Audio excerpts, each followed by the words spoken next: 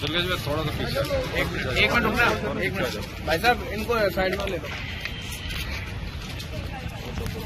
अरे रुको ना यार फ़ोटो तो हुई नहीं अरे थोड़ा सा पीछे की तरफ़ आ जाओ ये ना नहीं, ऐसे हो जाओ ना, और मैं मैं- क्लोज हो।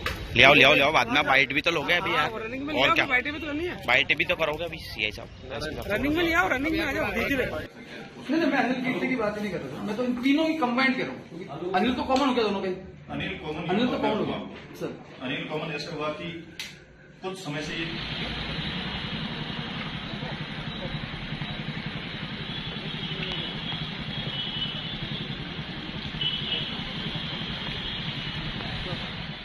कल पुलिस कंट्रोल रूम में सूचना मिली कि शिव मंदिर राजा साइकिल चौराहे के पास में एक लड़की को चाकू मार के भाग गया एक युवक।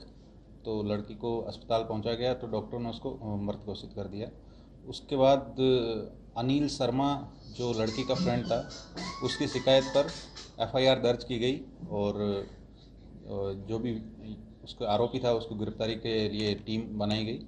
और विवान उर्फ़ विवेक नाम के युवक ने यह हत्या की है। अभी तक जो भी खुलासा हुआ और उस युवक को गिरफ़्तार भी किया जा चुका है। इसमें जो घटना है इसमें प्रेम प्रसंग की कहानी है। इसमें जो लड़की है कीर्ति उसका विवान के साथ पहले प्रेम प्रसंग था लेकिन कुछ दिनों से उसने बात करना बंद कर दिया था। फिर इसमें क्या हुआ? अनिल शर्मा जो है ये कॉमन फ्रेंड था।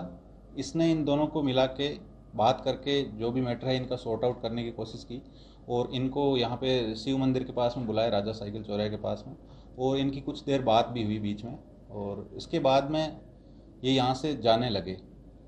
जो भी अभी तक की घटना है उसके अनुसार।